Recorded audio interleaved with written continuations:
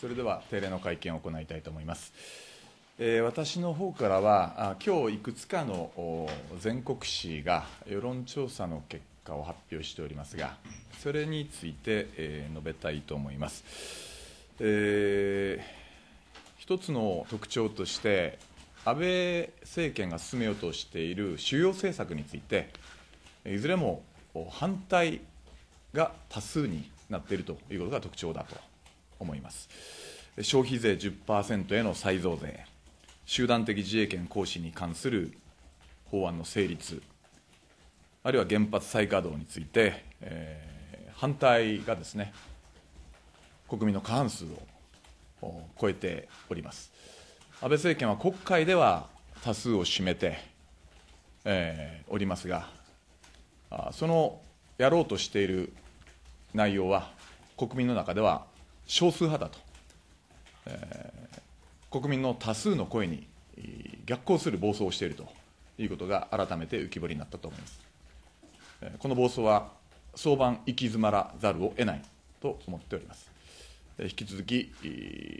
対決、対案、共同の立場で安倍政権を包囲していきたいと思っています。とりわけですね、この世論調査で注目したのは沖縄問題です。毎日新聞は、辺野古移設に向けた政府のやり方に賛成が34%、反対が53%でした。日本経済新聞は、普天間基地の辺野古移設を計画通りに進めるべきだが36%、見直すべきだが47%でした。沖縄県民の世論は圧倒的に辺野古移設反対、新基地建設ノーということは、世論調査でも、え度重なる選挙の審判でもはっきりしておりましたけれども、全国的に国民が辺野古移設に、反対、えー、見直すべきだという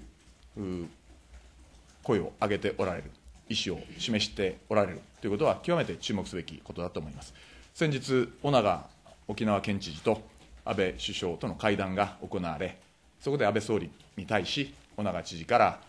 沖縄県民の声をアメリカ政府に伝えてほしいという要請がされましたが、まさに沖縄の声だけではなくて、日本国民の声になりつつあると、その声を安倍総理はアメリカ政府にきちんと伝えるべきであると思います。えー、辺野古新基地建設を断念し、えー、普天間基地の無条件撤去を求めて、米国政府と交渉すべきだということを重ねて、えー、述べたいと思います。私から以上です。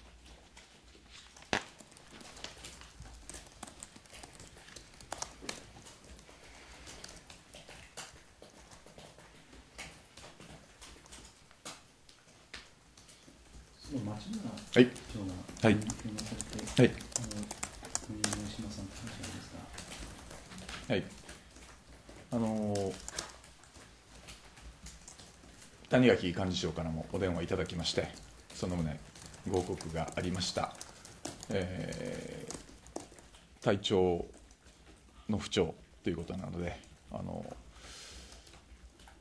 一日も早いですね、体調のご回復を記念しております。残念だと受け止めております。まあ、大島さんが後任にということについては、きちっとあの党として手続きを踏んで対応したいと思っています。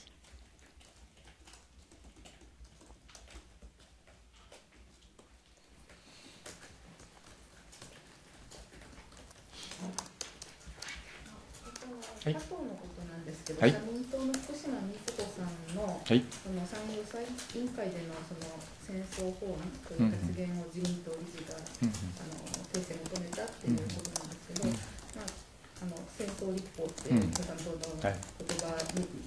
類似の言葉があるわけで、どういうふうに受け止めますか、うん、あの何ら問題ないと思いますし、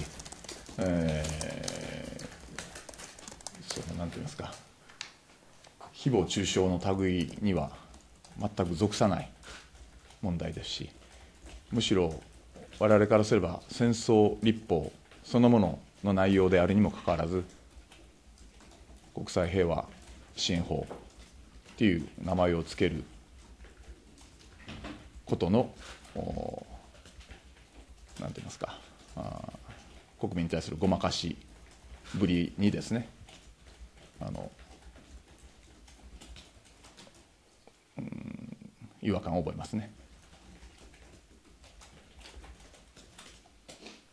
関連しまして、はい、あのまあ、これ言ってるのは与党側が、まあ、そういった圧力をかけてきたとも受け取れるんですけども、あの一覧に対してですね、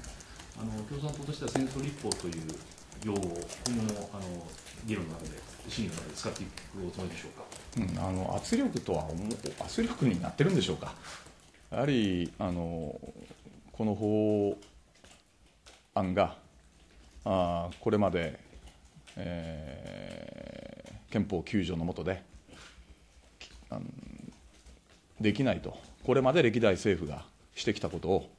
憲法の解釈を変更してできるようにする、それを具体化する法案ですから、まさに戦争立法に他ならないわけで、その本質をズバッと突かれたことに対して、あの痛かったんじゃないでしょうか。決してそれがなんかこう圧力というんじゃなくて、むしろそういう先ほど紹介した国民のあの世論の方が政府・与党に対して圧力になっているんではないかなと、そう思います。共産党としては審議の中で使う使う、まあ、審議で使うというよりも、あの審議は一つ一つ具体的な問題で詰めていきますので、あまりネーミングにこだわるつもりはありません。しかし、国民の皆さんにはもう戦争立法と、本質は戦争立法だということを呼びかけていくことを変更するつもりは全くありません。